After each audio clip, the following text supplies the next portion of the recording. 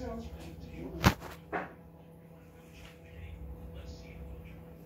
lamb. Rose lamb. Rose lamb. Mm, nowhere to sit though. Roast lamb.